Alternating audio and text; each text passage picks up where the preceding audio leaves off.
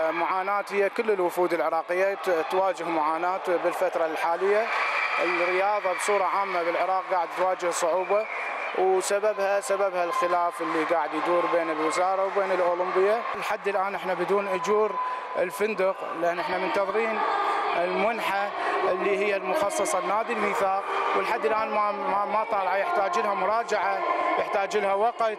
فهاي المراجعة تاخذ وقت وإحنا إن شاء الله العودة مالتنا يوم الثلاثاء. لكن إحنا بعد عندنا أجور الاشتراك مال اللاعبين أجور الفندق يعني هذا المبلغ بالله الكريم يعني. إذا أسولف لك تأذيت أنا أنا بصراحة أنا تأذيت. تأذيت أني واللاعبين يعني. يعني بالله الكريم تأذينا.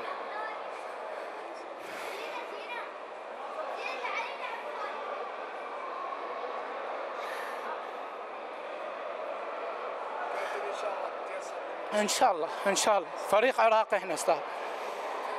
يعني